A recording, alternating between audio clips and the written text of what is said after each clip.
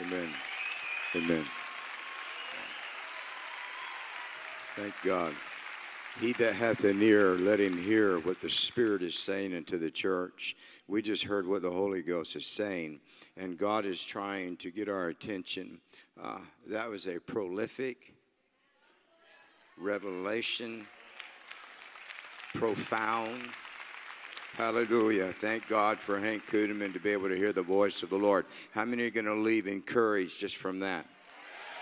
Amen. Um, and I, am just going to change things. We were going to have a worship song, but there's such a vein of the prophetic word of the Lord. I think I, I thought I prophesied everything I had last night, and all of a sudden, you, you know, you get in that vein, you can feel it. Um, but this man of God, um, there are no ways to define Robin Bullock other than he is a powerful prophet of the Lord that God supernaturally has brought for this hour to release what God is saying. Every time I get around this man, it's like I see another facet of the hand of God that's in him. This is a deep well. Hallelujah. He is a deep well, and uh, again, a tremendous gift to the body of Christ that kept us from losing hope. And the Lord has used this man and his wife. And so make welcome tonight Prophet Robin Bullock.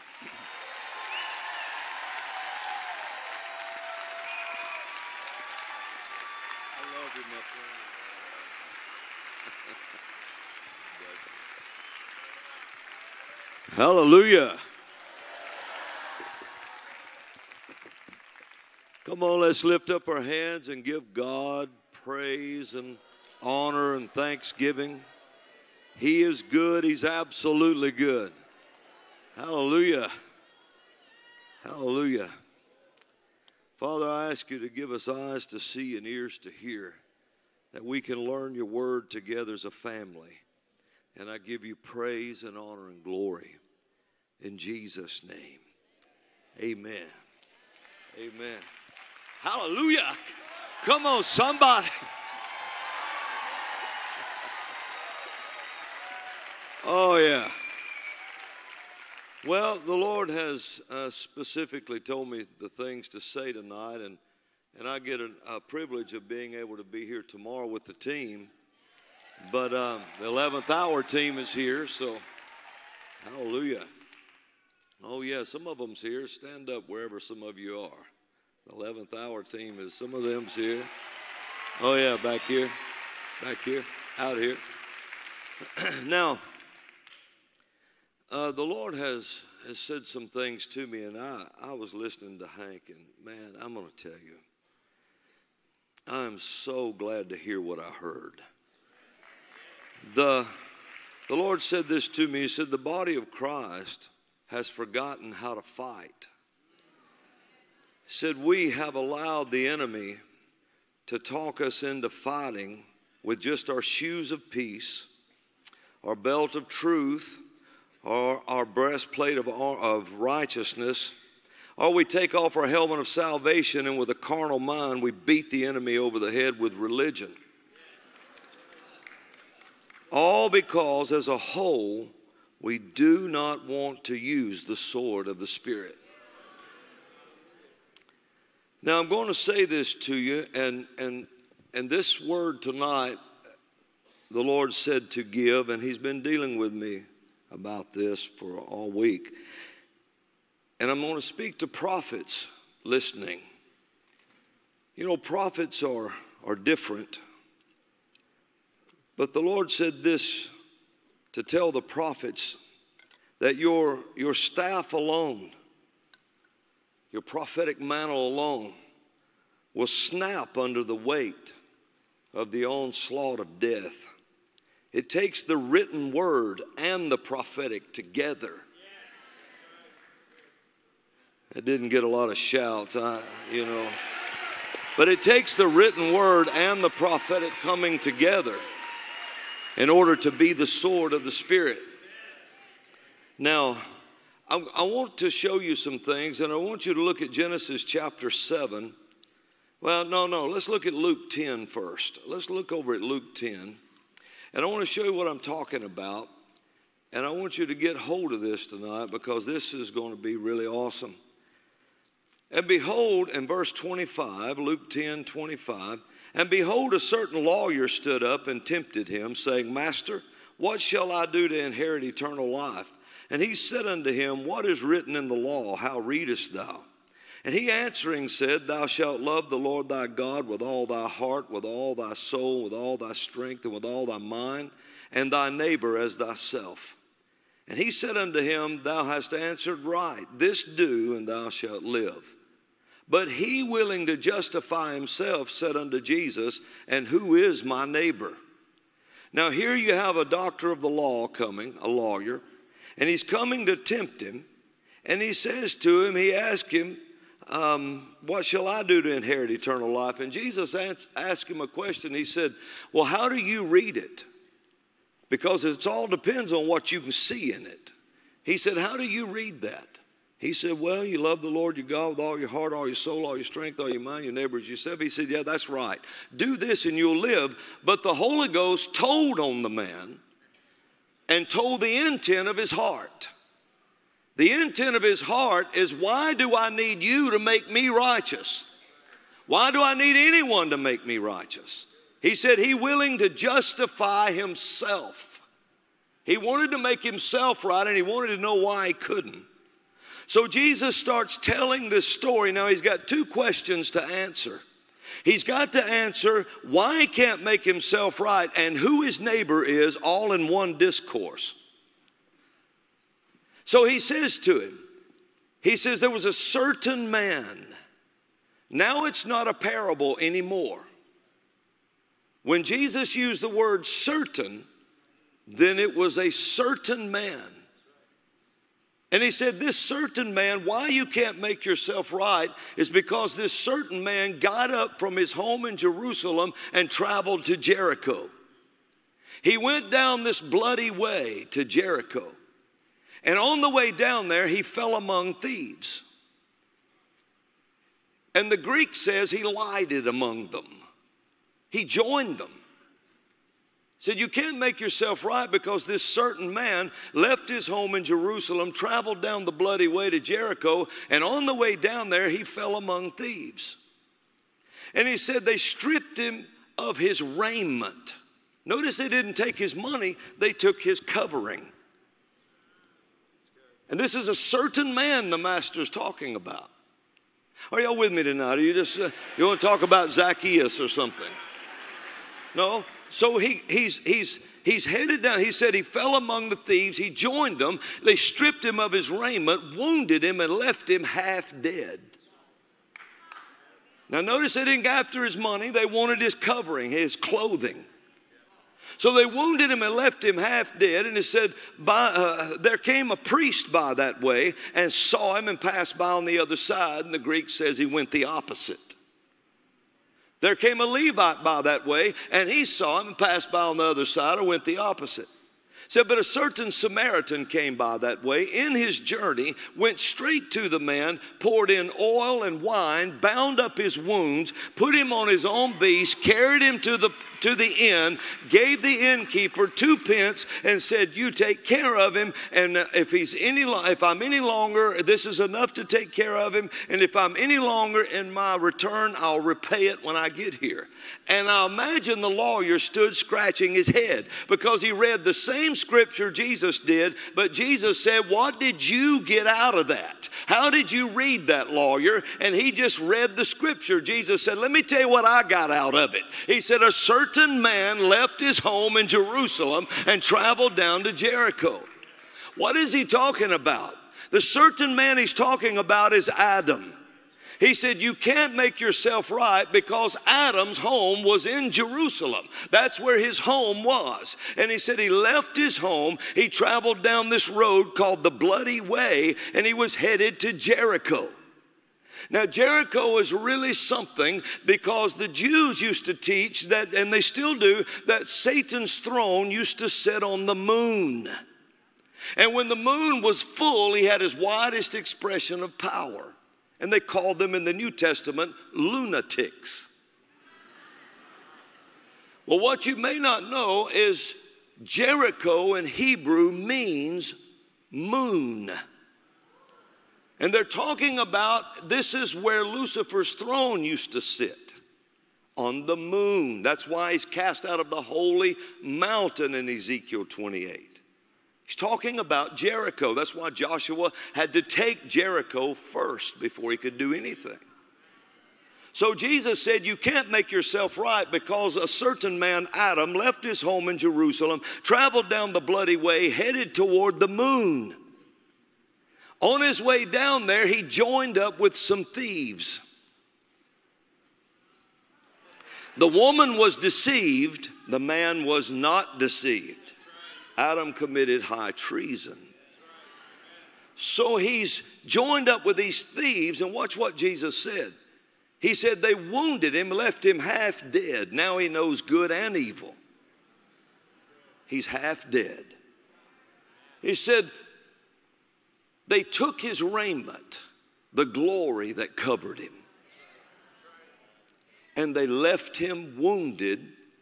And it said the priesthood couldn't save him. The Levitical law, the Levite, couldn't save him. But there was a certain Samaritan that in his journeys came right to the man. Now, a Samaritan is a person whose mama is Jewish, but their daddy is something else. Jesus' mama, his mama was Jewish, but his daddy was God. And so he said, the priesthood couldn't save him, the Le- Levitical law couldn't save him, but there came a man whose mama is Jewish and his daddy is God. And he came right to the man and he poured in the oil, the anointing, and the wine, the blood. He picked him up, set him on his own beast.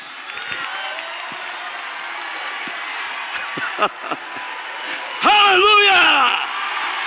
He put him on his own beast.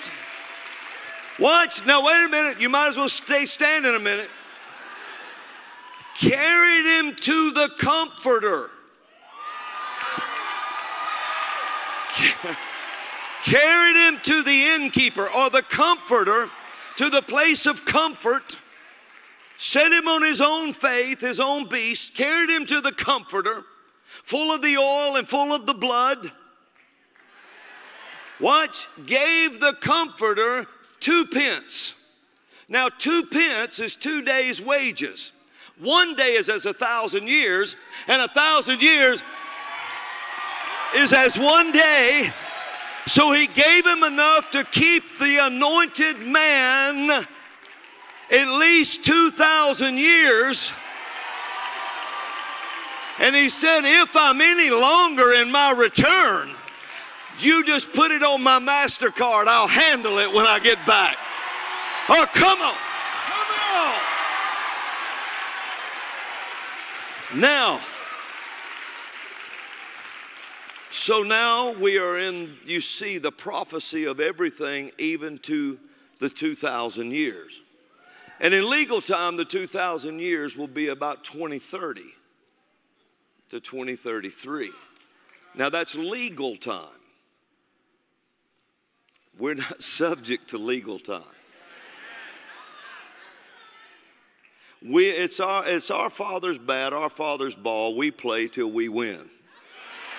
That's, that's just the way that works. We'll just keep going till we win.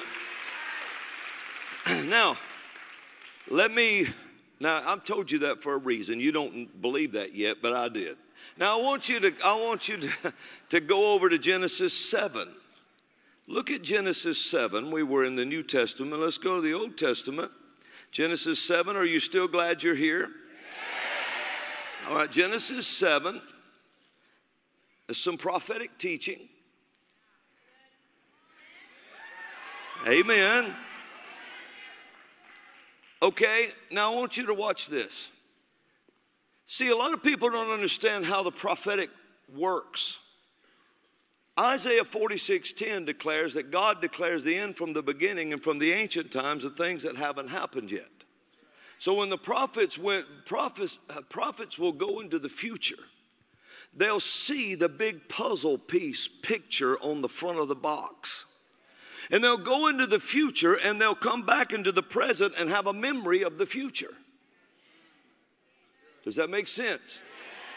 So they go into tomorrow and they come back to today and have a memory of the future. And then they start declaring the picture from the beginning, the end from the beginning. Everybody was expecting the end to show up at the beginning.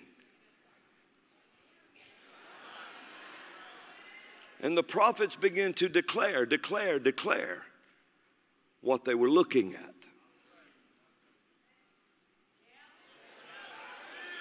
So, what I want you to see here, and I, I can, I'm, I'm, just going to do just a little of this tonight, and then, and then um, we'll stop. But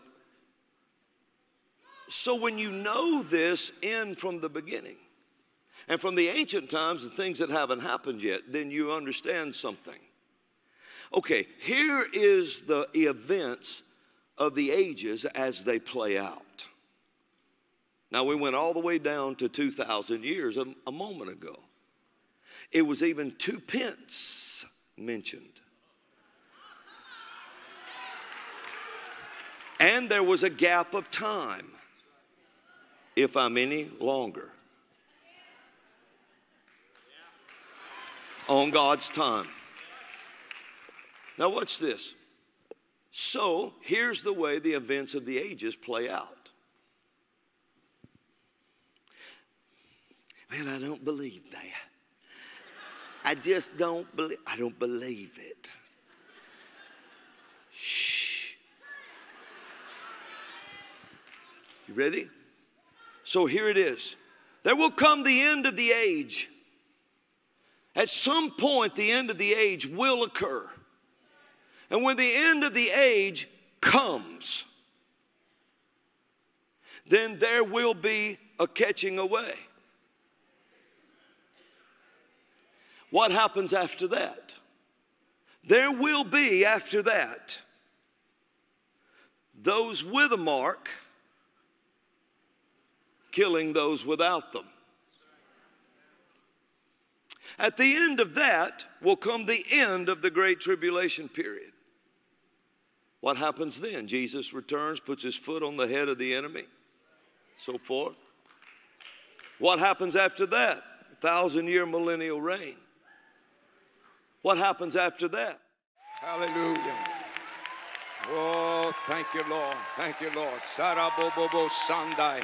My God, do you feel the authority of the Lord in this house tonight? Praise God. Praise God. Remain standing. Tonight, I want to bring on a great gift to the body of Christ. Precious. We highly esteem this man and the voice of the Lord that comes out of him. I thank God for his stability that he has released over the nations and to the church in this time. And so, without further ado, make welcome Prophet Hank Kunneman, mighty man of God, for this hour.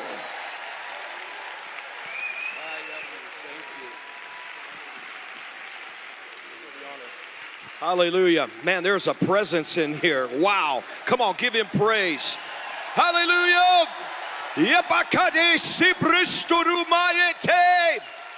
Jesus. Yeshua. We honor you. Come on, just tell them, we honor you, we honor you, we honor you. We honor you so much tonight, Yeshua. We thank you for the office that you have given of the prophetic office to speak, to hear the secrets of you, the Almighty God. May it be revealed, and may the Spirit of truth rest strong upon this night, that people will truly understand what it is that the mouth of the Lord speaks. And we honor you and we bless you. And all the people said, Amen. Wow, isn't he amazing? Wow, there's such a strong anointing here. It's going to be amazing. Thank you, Lord. Praise God. Well, why don't you do this? Smile at somebody, look at him, say, I bet I know what you want for Christmas. so I got to tell you a secret. So, Pastor Kent, he wears these cool boots to my conference. And by the way, good evening. It's so uh, much of an honor to be here. But uh, he wears these cool boots at my conference back in September in Omaha, Nebraska. And I said to him, I said, Pastor Kent, you know, I want a pair of those kind of boots. So he's been looking all over the place for them. And he said, You know, I don't know if they make them anymore. And he said, But I'm going to keep searching. I said, Do you know that if you will honestly find those book, uh, boots, I will name those boots after you? He said, Really? I said, Yes, those will be called my Christmas boots. I love, I love Pastor Kent and uh, Pastor Candy. Thank you so much for your friendship, your love, and the honor of being here. And uh, I like to surround myself with pure people, and you are that. And I thank God for you. And so, it's just I'm honored to be here because I'm carrying something so sacred. It's the word of the Lord to the people. So thank you for that. And also, my other great friends, Pastor Robin, Pastor Robin, Prophet Robin, Pastor Robin, there you go. and uh, talk about purity also. I love to surround myself with people of purity.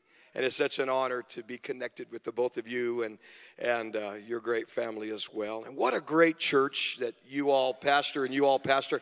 And uh, I'm not traveling as much next year. I've been talking to God about it. He said, I'm restricting where you're going, Hank. You're going to be more calculated. And uh, if you all invite me, I have permission from heaven. So just so you know, I would love to stay connected there. Um, but I got to say this. So I'm here, you know, for two reasons. Number one, obviously, is to share with you the, the word of the Lord. In fact, I just flew in from Phoenix. Uh, I did a Flashpoint Live uh, service uh, last night in Phoenix. It was powerful. So, and uh, and uh, the way the night kind of went, it went kind of long for you that are here Central Time and those of you that are watching on the East Coast. I think if you stayed up, wow, it must have been like one o'clock or something like that by the time we wrapped it up. Pastor Dutch Sheets did a tremendous job kind of following up on the word that I delivered. But I only got to really get into a little bit of what I'm going to share tonight. And it's so amazing because uh, a few months ago, uh, quite a few months ago, uh, Pastor Kent said, Hey, uh, we need to do some kind of conference uh, with Pastor uh, Prophet Robin. I keep calling you Pastor Prophet Robin and uh, yourself, Hank, and, and would you be interested? And I said, You know what? I feel like the Lord wants. Um, that to happen, and I feel like I'm supposed to be there. So then Flashpoint called and said, Hey, we want you for two nights. And uh, it was the same, it would have been the same Friday. And I said to Pastor Gene and, and to the ministry there, I said, No, I will come to Phoenix on Thursday, but the Spirit of the Lord said you are to be there on Friday. So this is where we're at today. So I think it's very significant. So that's the number one reason that, that we're here is to be obedient. Second is, Pastor Kent promised me meatloaf.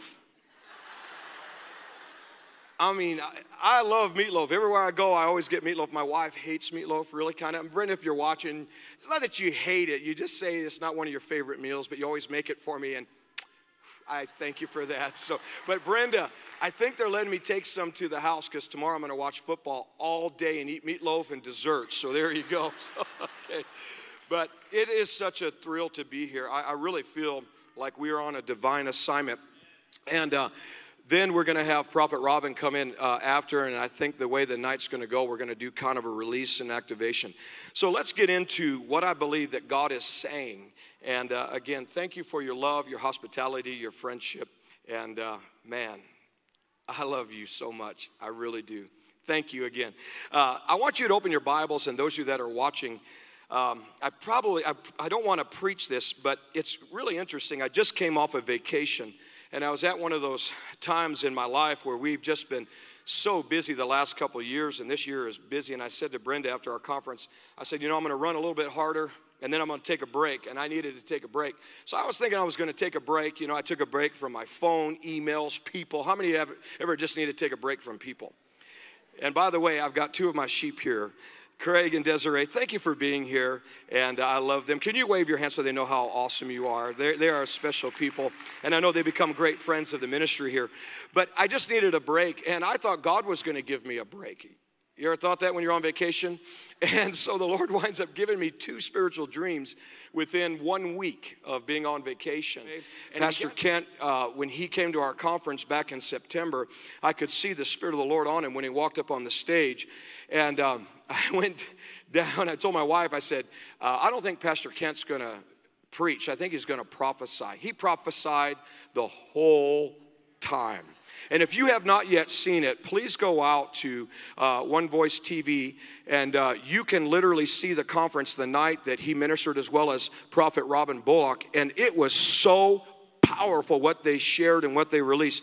But I feel like God wants me tonight to give you a prophecy by way of instruction and revelation backed with the scriptures to give you a prophetic understanding and a narrative from scriptures what God is doing and how we are going to move. We've already into uh, 5783, the new year, and we have to stay ahead of what is coming in January, where most people look at that as the new year. And God has declared that 2023 is going to be 2020 free. 5780 free. There's a freedom because of the harshness of the season that we've been on. I want to clarify that because in 2018 and 2019, God began to speak through my lips. I know Prophet Robin Bullock, God was gave, giving him even more of a specific word. and so God was already warning the, the people that this was coming. And this was in 2018 and 19. I remember getting on the airplane. I was going to spend two days with Kenneth Copeland in prayer privately. And uh, he said, Hey, bring the word of the Lord. Whatever, whatever you're hearing about uh, the, the new decade. Now, this was in 2019. And I remember praying all that week. I spent some time with God. I'm like, golly, I'm not hearing anything. So I was on the airplane and, and I'm getting ready to land in Fort Worth. And I think I was like 30 minutes away. And I said, God, I haven't heard anything. I don't know how I'm going to show up to Brother Copeland and say, well, I haven't heard anything. But, I, you know, you got to be honest with people. And so I thought, well, I'm just going to sleep. And I, I fell asleep, and the Lord gave me the word of the Lord, and He said, Hank, the decade that you're entering into, this is 2019, shall be known as the decade of difference. And it shall be like in the days of Israel and Egypt, and that shall be the prophetic narrative that shall play out among this nation and the nations. I said, okay. He said, but it'll start off harsh. And uh, how many know it started off harsh? And he said, but people will think that that is the way that it's always going to be. But tell them it is going to start off harsh and then it will come into rest. In uh, 2019, it was two days before Valentine's Day. And uh, if you're a smart man like I am, married to a gorgeous lady of 33 years, she was at the office. I was getting the house ready. You know what I'm saying? I'm a smart guy.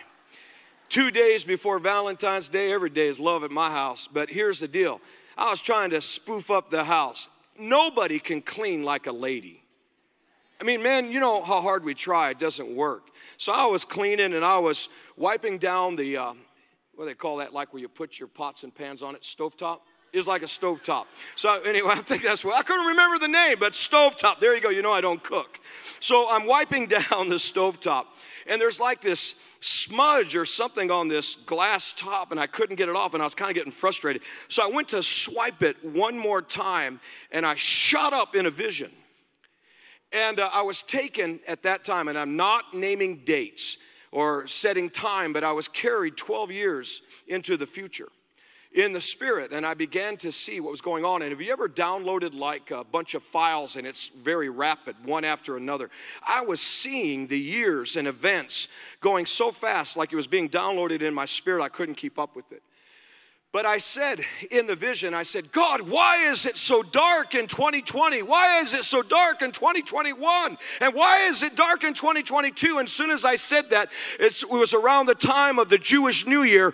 All of a sudden, I saw there was a light that hit very harshly that began to literally deal with the darkness and disperse it. And I could begin to see the darkness was not only dealt with harshly, but I began to see the brilliance of the light break through in 2022, right around the Jewish New Year, that literally was going to thrust us into the rest of the decade.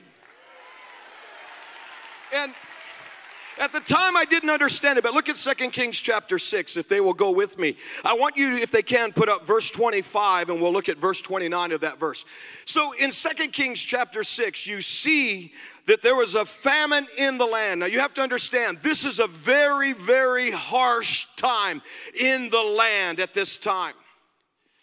There's a famine in the land. The people are hungry. Come on, how many have, have experienced certain harshness in, you know, going to the grocery store and empty shelves and, you know, nowadays you, you know, you're not able to get baby formula. Come on, mamas. I mean, it's been crazy. People paying six dollars for a gallon of milk. So there was harshness on the land. There's been harshness on this land. God said it ahead of time. There would be a harshness that the decade would start off, but then it would come up into rest. Now, this is important. How did God say it would end up? In rest. So then you hear preachers that have the spirit of doom and gloom on them, and they say, Well, we're in the days of Noah, where they were eating and drinking and giving in marriage, and then the end shall come, right? And they don't realize that, yeah, we are in the days of Noah. But what happened in the days of Noah? And they never preach this part. In the days of Noah, Genesis 7 11, it says that God broke open the fountain of the deep state of things. And opened then the windows of heaven. And God dealt with the evil, the corruption, the darkness that had filled the earth to the point where God was hurting in his heart, you could say, grieved because he made man. But then the Bible says, But God found a righteous man, Noah. God found Noah, a righteous man. What these preachers won't tell you is that God, in the days of Noah, right now is dealing with corruption, the deep state dark things, and he is about and in the process of raising up spiritual Noahs who have taken a stand of righteousness in this time. And here's where they're missing it they have the spirit of the disciples upon them. Mark chapter 6, there's it's starting to get dark, and Mark 6 says that the day was far spent. In other words, in their mind, it was too late to do anything. And the people had been there for three days hungry. How are we going to deal with this big need? How are we going to deal with the masses? That's the question today. How are we going to deal with inflation? How are we going to deal with high gas prices? How are we going to deal with the harshness of the things that are going on? And what did God do? The disciples, here's the spirit of some of the preachers and people send them away. The answer is escape. The answer is we're in the days of Noah, send the people away and rapture them. Let's just get them out. That's the answer. Let's escape all of this that's going on. I've heard more Christians, man, they, they absolutely have a spirit of escapism. Just get us out of here. I can't take anymore.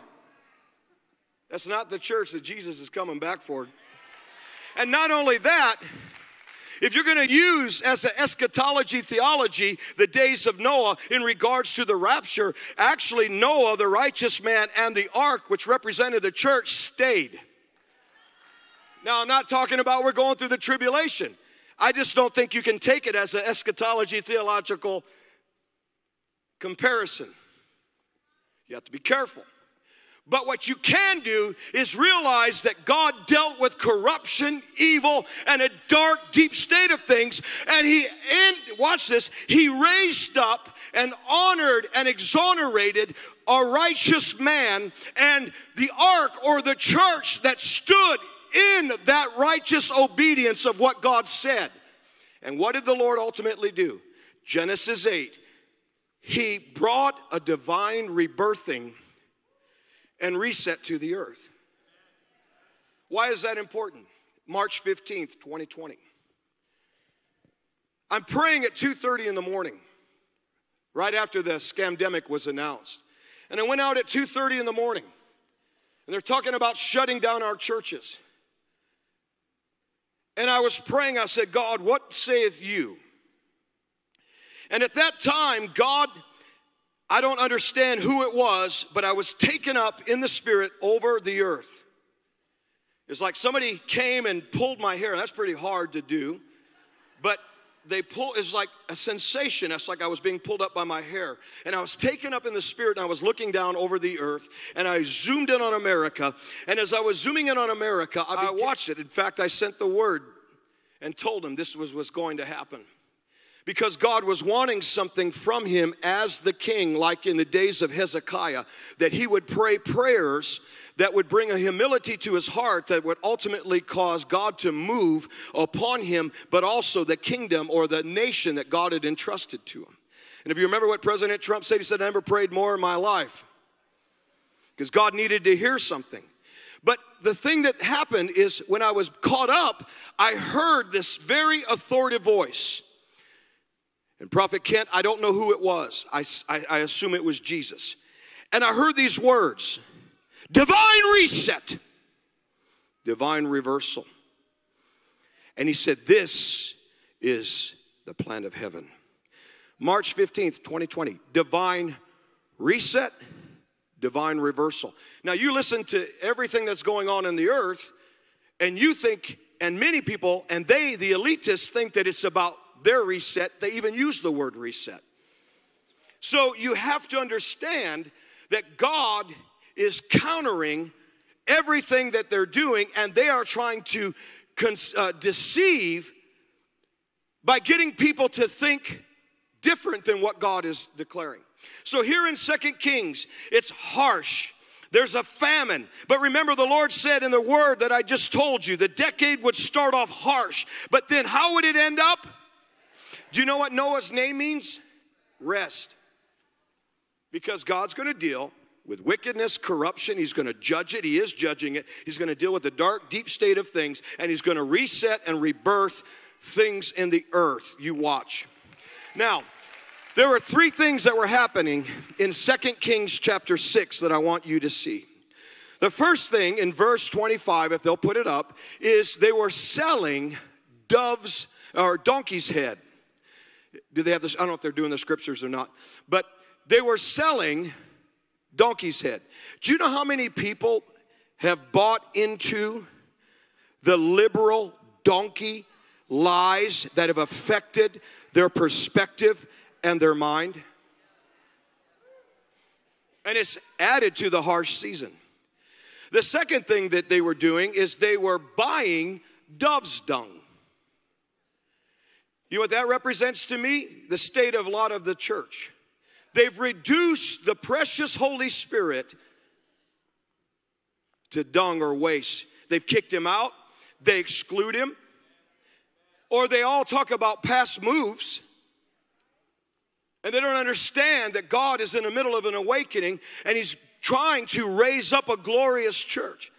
The third thing that happened, you can see this in verse 29, is to one point uh, there was two women that they were so hungry that they agreed that they would boil each other's babies and eat them. And one woman was absolutely tricked, so to speak, by the other woman to boil their son and eat it, and they did. So you have the donkey head, which represents liberalism and all the woke and all the things that they're trying to get us to believe. Second, the church how it's reduced God, how it's been operating in this time. But the third thing is what they're doing to our children. You talk about harsh times. But guess what God's answer was? And I say this because I'm going to start moving in and telling you what's coming. And so God's answer was not the local media. You see, there are three sources of information. And this is why people when they attack the prophets, they exclude the prophets, they put petitions up about the true prophets. They don't understand that you have just reduced yourself to an element of absolute dunceness. Is that a word, dunceness? Stupidity. Because there's three realms of information. The throne room is where God speaks to his servants, his friends, the prophets, where they get their information. The second realm is the second heaven, which is the witchcraft warfare realm, which a lot of information is formed and released from the demonic realm, and it's unfortunately it's released through the first realm or the media. And I hear a lot of things that people say today that is not from the throne room because I spend a lot of time there and I don't listen to the news, I don't watch it, and they will repeat what the enemy is saying in the second realm. They repeat then what they hear on the fake news and they take that as truth and that this is the way it's always going to be. And they form their perspective. That's why you have relatives that won't even talk to you today because they haven't been before the throne. And so they attack the prophets. And I want to say, okay, do you really believe that if God is going to communicate something in a season of harshness, that He's going to close the mouth of His prophets and the voice of truth by the Spirit of God is now going to be subject to the second realm? The demonic realm, the prediction realm, the psychic realm, or the realm of whatever is being spoken in the culture is supposed to be truth or the news. God does nothing in the earth unless He reveals His secrets to His servants, the prophets. So there's this harsh season donkey, dove's dung, boiling their next generation. A harsh season. What's God's answer? Second Kings chapter 7. A prophet arises, Elisha, who, by the way, Prophet Robin carries that same anointing. And all of a sudden, the answer is a prophet now is going to put things in proper perspective to let them know what is really going on. In fact, the king at that time literally begins to come after Elisha and want his head and says, This evil, this harshness is brought in by the Lord. That's what a lot of people are doing, blaming God. That's why they all come out with their eschatology scriptures Gog, Magog, and Eggnog and try to put it all together and they and they exclude any kind of revelation or any prophecies of the prophets but God raised up a prophet, and the prophet said, Listen, you may be boiling your babies, you may be in the middle of a harsh season, but Second Kings 7, listen to the word of the Lord. This time tomorrow, it is all going to begin to change.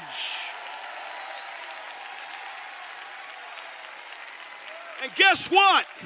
It did. And it is continuing that word.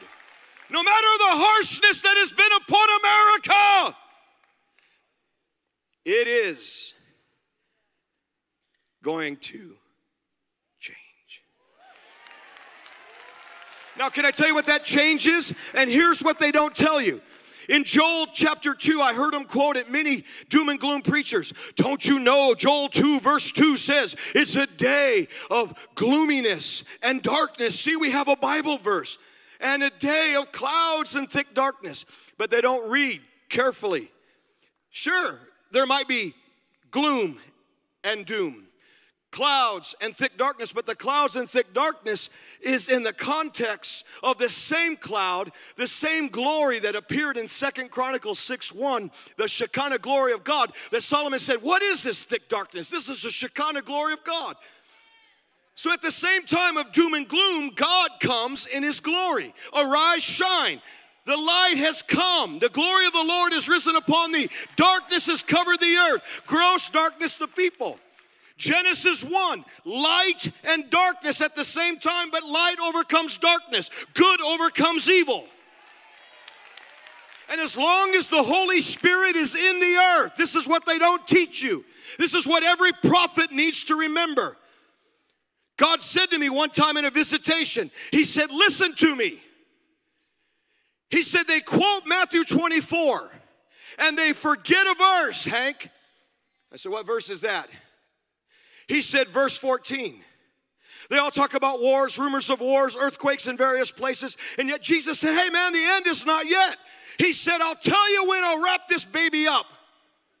Verse 14 the gospel of the kingdom, not just the gospel, there's coming a kingdom message.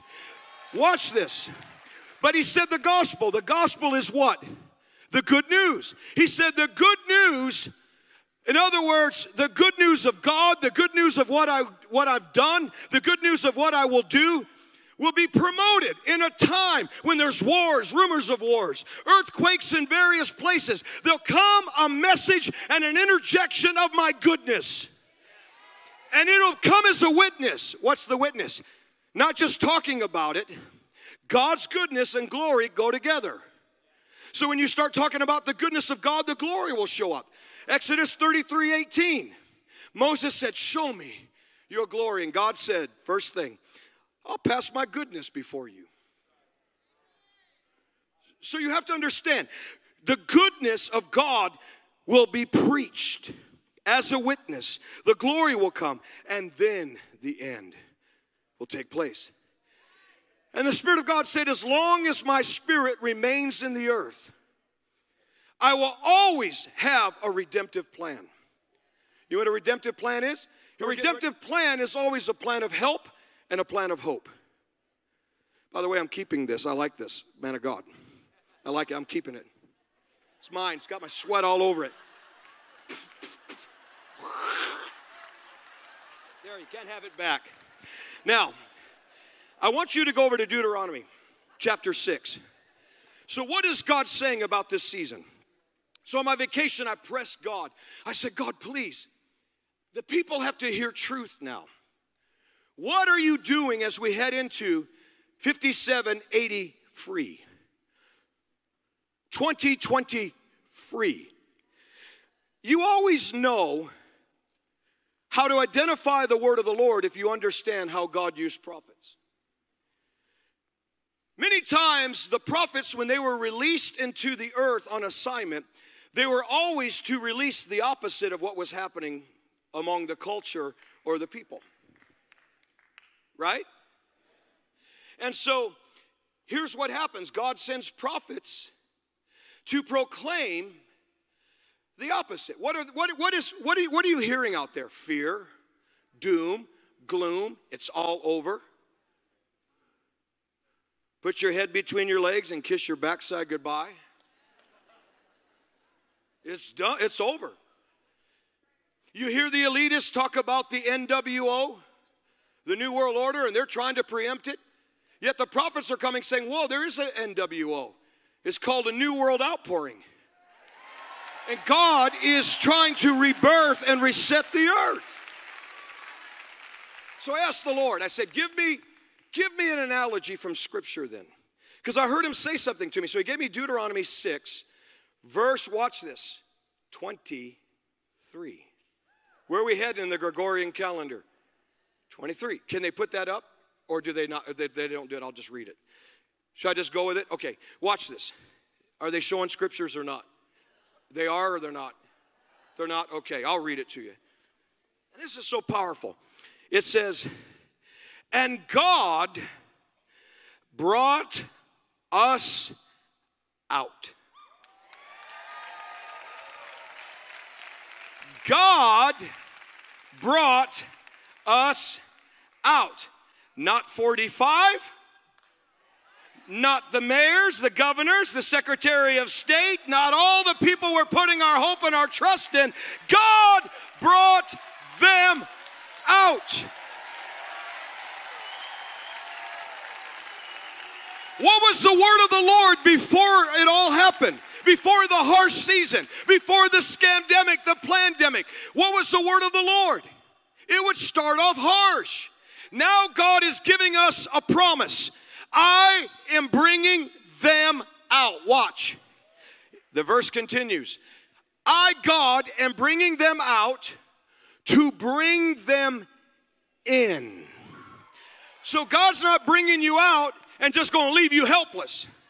God is bringing you out of your harsh season out of the struggles that we've had, of the treason, the fraud, the lies, the crimes, the evil, the dark, deep state of things. He's bringing us out of this. And He's bringing us in. He's bringing us in. He's bringing us in. Watch this. What's the promise? To give us the land, to give us America, which He swore unto our forefathers. This is the word of the Lord. This is the word of the Lord. We are coming out. We are bringing, God is bringing us out. We are coming out of this harshness, this lunacy, and He's bringing us in. And He's going to fulfill His promise. All the things that the prophets have said, they're going to happen.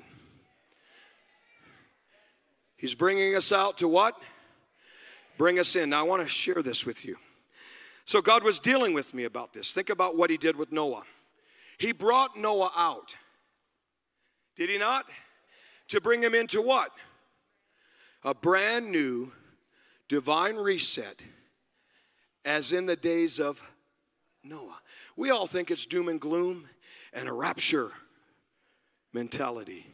Yet God is looking at it, yeah, it is the days of Noah. I'm going to harshly deal with evil, corruption, the dark, deep state of things. I'm going to raise up those who are my remnant, who have stood in righteousness in a very evil, harsh time, and I'm going to divinely reset America. And let me say this a reset will bring a receipt. A, re- a reset will bring forth a receding on many levels. And it's part of the new era that God promised. Now let's go here. So we've got these, these 2020 free, 5780 free coming. I want to bring your attention to Exodus 14, and I want to start in verse 19 as I'm going to start wrapping this up. And I would like for you to put it in the, I think it's the amplified version. That is the version I want you to see. Because God spoke this to me, and I never saw this as many times as I ever. now, can I tell you why you need to pray for 45? Because if Jesus the Messiah was in the garden of Gethsemane, and prophets were stoned, and their blood was still crying out all the way from Abel till the time of Jesus. And he's in the garden, and he literally is feeling the weight of this that he says, Father, if it be possible, let this cup pass from me. Nevertheless, not whose will? So at that moment, he had to submit his will. Through obedience, he endured the cross. He had to submit his will. Every prophet and prophecy that was ever declared through a mouth of a prophet or any prophecy about the Messiah was hanging in the balance. At the obedience of a man, would they obey?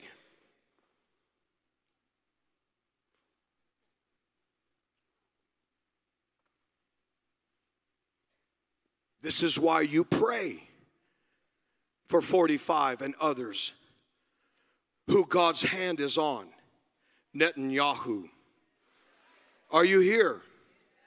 So that they can fulfill what God's heart, mind, will, and agenda is through the prophets. Are you listening? Now, watch. So, the Lord brought me to this narrative. Too many people are looking to the calendar event and they don't understand what we heard from Kat Kerr, and, and I've said it, not knowing that Kat experienced this, is God is not held to our human calendar dates. That's why people got mad when January 21st came and went. What happened? The inauguration. Like God, you know, fell off his throne, didn't see it coming. But God's not subject or moved. That's why the scripture says when it came to Jesus, it was the fullness of time. God determined calendar event. This is when it's going to be determined. And so when God steps in on a calendared event recorded and determined in heaven, watch how it begins to affect the earth. It's a mid turn. God's going to take his turn. We've been waiting for righteousness to be established. We've been waiting for justice to come. We've been waiting, God, where are you? And God is saying, I have chosen this on my calendar, my event. This is about my terms. This is about my turning. You think it's about, well, will there be a red wave? What you need to say is, God, we want your terms. Take your turn now. Because when God steps in and says, It's about my terms now, I'm gonna dictate, I'm gonna step in, it's about my turning, guess what? Everything then has to shift and move according to what God says and what the prophets have proclaimed. Now, watch. In Exodus 14, it says, Are you ready? So, if they can put that up here in verse 19, if not, I'll just read it. So it says, All right. The angel of God, who had been going forth in front of the camp of Israel, moved and went behind them. The pillar of cloud moved in front and stood behind them. And so it came between the camp of Egypt and the camp of Israel, and it was a cloud along with the darkness. But it gave light by night to the Israelites. Notice light and darkness at the same time. So one army did not come near the other all night. Then Moses stretched out his hand over the sea. And the Lord swept the sea back by a strong east wind. Now, east always speaks in Scripture of judgment. It was an east wind. The priest, when he would take the sins of the people into the very door of the tabernacle, he would come in by the east door carrying their sins. And guess where he would head? West, towards mercy. That's why the Bible says God casts your sins from the east, judgment, to the west. So there was a judgment that came, it was in motion. And God opened up the dry land and the waters were divided, and the Israelites went out into the what? What does it say next word? Went out in the midst, the Amplified says, in the middle of the sea. What are we getting ready to come into? The mid or the middle term. We're coming in the middle, the mid, the midst. And God began to divide the right and the left. What is our midterms about? The right and the left, and how the nation will pass through. And yet you skip over to verse 23 and watch what happens again. What year are we coming into Gregorian calendar? It says, Then the Egyptians pursued them into the middle of the sea. We talk about red wave. This was a Red Sea. And God waited for a red wave, which is what happened. A red wave came, right? You could say, because it was a Red Sea red wave, right? Not actual color, but you get it. Came while they were in the middle the midterm. And guess what God said? They're right in the middle of a Red Sea, and I am now going to make it about my terms. I'm going to take my turn. And it became a mid middle turning. What happened? All the nonsense of a socialistic Egyptian empire that attacked a nation in the middle term or the my term, God's term, God's turning, verse 27 says, God absolutely turned it on them and they were no more. I want to say this last thing. Let me give you a quick rundown. What happens in the middle? In 2 Kings chapter 20, I'm just going to rattle these off before Prophet Robin comes, and then we're going to flow a different direction. I want to give him enough time. Am I giving him? Too, am I taking too much time? I just want to end with this. 2 Kings chapter 20. Notice what happens. The prophet Isaiah is in the middle court. So where's he at? In the middle. And the word of the Lord comes to him. And says, Now go prophesy back to Hezekiah. Tell him that his prayers have been heard. I've seen his tears, and I'm going to heal him. And I'm going to turn back time. What is God saying to us? God's speaking to the prophets at the time of the middle court or the middle term, God's term, and he's speaking and saying, Tell the people, I have heard their prayers, and I in fact, healing this land, and I'm turning back time. As if it never happened in some regards. The second thing you can find is Judges 16. Samson stands in the middle place between a pillar on his left and a pillar of on his right. He's in the middle. Guess what happens? He puts his arm around the left, puts his arm around the right in the midterm, the mid place, and he pulled the house down.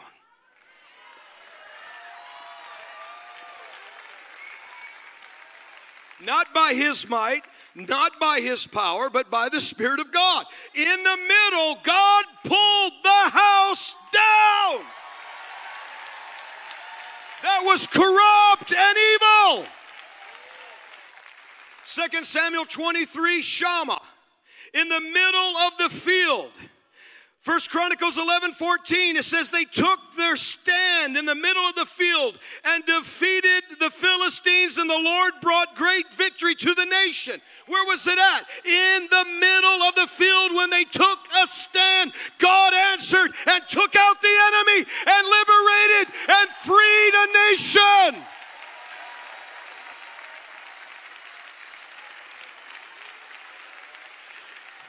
Mark chapter 6, verse 47.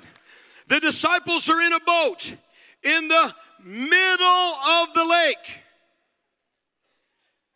And Jesus shows up. And the scripture says, intending to pass them by.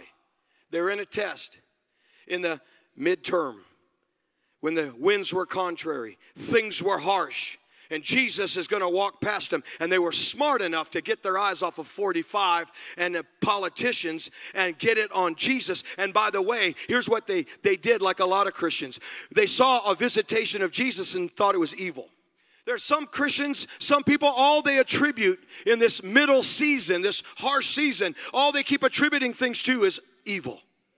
All they talk about is all the evil, and they don't realize there's a visitation of Jesus in the midterm of things. And guess what? It was Jesus' term that ultimately turned everything in Mark 6 47 and gets in the boat. Come on, he's about to get in the boat of our midterm, and absolutely, watch what happens. The boat, supernaturally, the scripture says, it was transported immediately to the other side. Acceleration took place, and it was as though they hadn't even been there.